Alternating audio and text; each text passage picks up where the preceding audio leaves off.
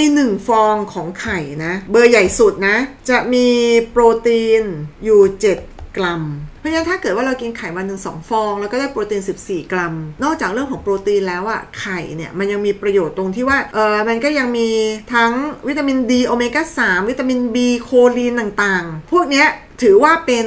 complete โปรตีนก็คือโปรตีนที่มาจากเนื้อสัตว์อ่าอย่างเช่นอะไรบ้าง ดี๋ยววันนี้เออเราจะมาคุยกันในเรื่องของโปรตีนนะคะอ่าเรามาดูว่าเออแล้วอาหาร high protein diet เนี่ยมีอะไร ที่เราควรที่จะเลือกทาน เพื่อหวังผลในเรื่องของการสร้างกล้ามนะสร้างเอนไซม์ช่วยย่อย สร้าง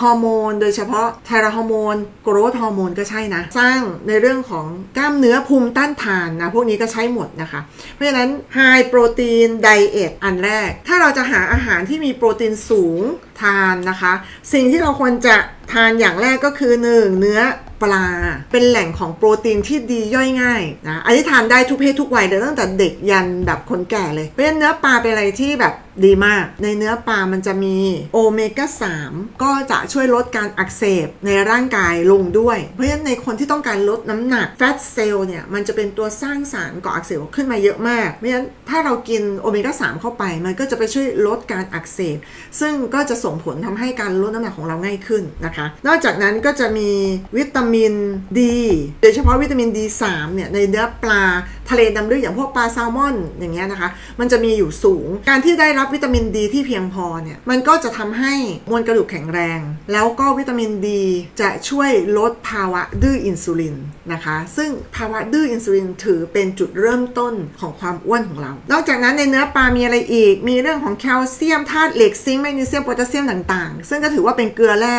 ที่ร่างกายจะต้องใช้ แต่สิ่งที่เราต้องรู้ก็คือ มันไฮโปรตีนยังไงคะ ในเนื้อปลา ใน100 กรัมเนี่ย จะมีโปรตีนอยู่ประมาณ 17 กรัมโปรตีนนะคะก็ถือว่ามีโปรตีนสูง อันที่ 2 ก็คือเนื้อสัตว์ปีกทั้งหลาย เช่น เนื้อไก่เนื้อเป็ดเป็นต้นในกลุ่มนี้นะคะ ก็คือเขาก็จะให้ทั้งเนื้อทั้งไข่ได้นะ แต่ว่านนี้เราพูดถึงเนื้อ โดยเฉพาะเนื้อไก่ก่อน เนื้อไก่เนี่ยเป็นแหล่งโปรตีนแบบชั้นดีเลยนะ ถ้าพูดถึงแบบบางคนชอบกินอกไก่ร้อยกรัม จะมีโปรตีนนะ อยู่ประมาณ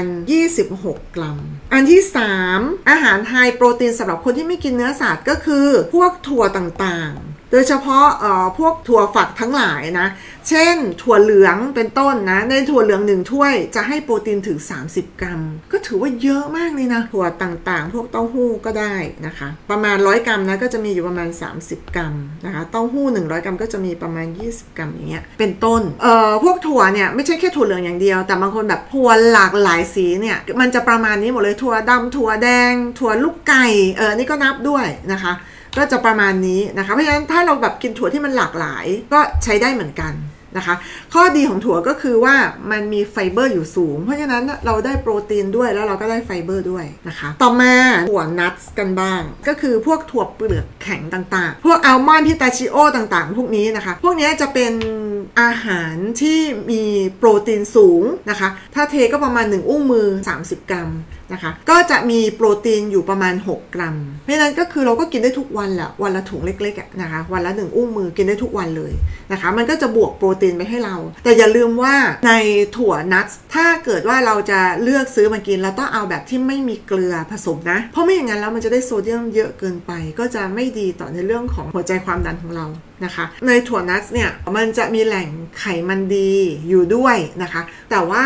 ถ้าเกิดเรากินเยอะเกินไป ถ้าแบบนั้นเนี่ยมันจะทำให้การลดน้ำหนักยากขึ้น เพราะว่าเราจะได้พลังงานจากไขมันเยอะเกินไปนะคะ เพราะฉะนั้นวันหนึ่งไม่เกินหนึ่งอุ้งมือนี่กำลังดีนะ ข้อ 5 นะ ไข่แน่นอนจะอันนี้ต้องมาแน่ๆ ใน 1 ฟองของไข่นะ เบอร์ใหญ่สุดนะ จะมีโปรตีนอยู่ 7 กรัม เพราะฉะนั้นถ้าเกิดว่าเรากินไข่วันหนึ่งสองฟอง แล้วก็ได้โปรตีน 14 กรัม นอกจากเรื่องของโปรตีนแล้วอะไข่เนี่ยมันยังมีประโยชน์ตรงที่ว่าเออมันก็ยังมีทั้งวิตามินดีโอเมก้า3วิตามิน B โคลีนต่างๆ พวกเนี้ยถือว่าเป็น